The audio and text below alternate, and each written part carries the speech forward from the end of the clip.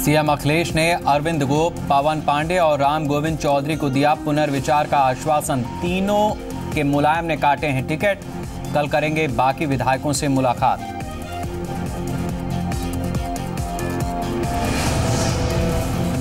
इकतीस दिसंबर तक चुकाए जाने वाले कैश, क्रेडिट, ओवरड्राफ्ट और कृषि लोन में राहत आरबीआई ने दी और 30 दिनों की छूट। एक करोड़ तक का लोन चुकाने के लिए दी राहत।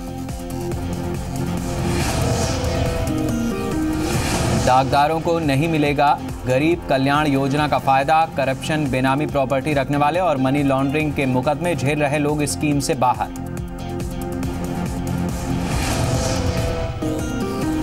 दिल्ली के उपराज्यपाल बने अनिल बैजल। राष्ट्रपति ने दी नियुक्ति को मंजूरी।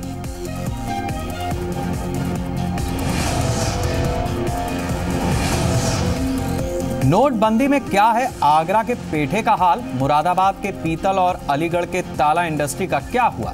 पूरे यूपी से रियलिटी चेक इंडिया 24/7 पर लगातार।